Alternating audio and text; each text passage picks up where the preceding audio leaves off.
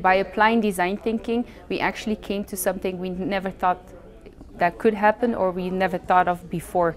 So that's the great thing about it, that you can come up with something that you never expected and that you just lead and you uh, just follow the, the methodology and you will see where you will come up with.